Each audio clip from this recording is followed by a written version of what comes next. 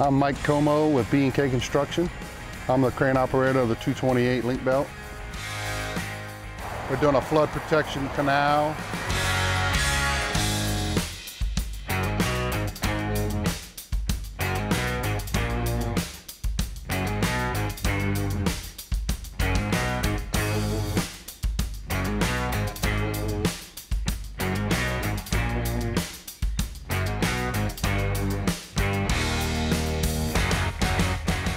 We use an OT 10 Vulcan hammer.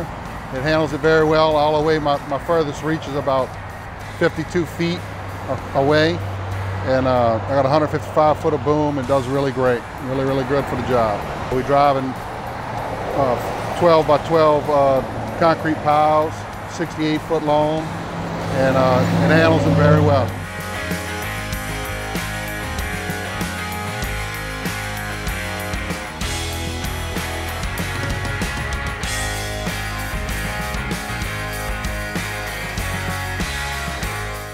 It picks up very smooth. I mean, that hand throttle, that twist throttle, it took some getting used to, but now that we, you know, mastered it, it's it's really great.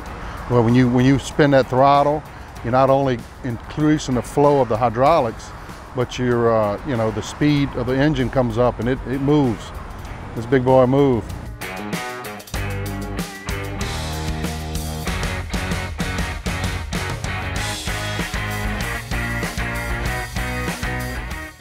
It's very, very good machine, uh, handles the piles very well.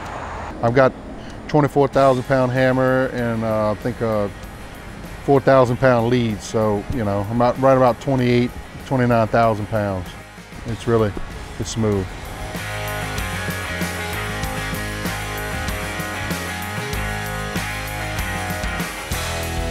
The way we're doing this, this application is we set all the piles first, we stand them up in the templates, and then we just grab the hammer and the leads.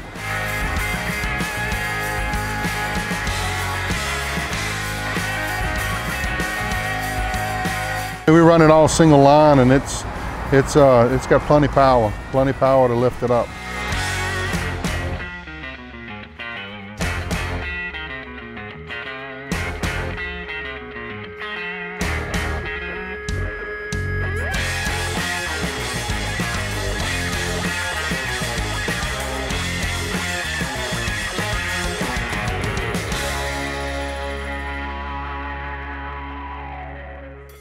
Think it's, it's, this does everything a crane, you know, should do.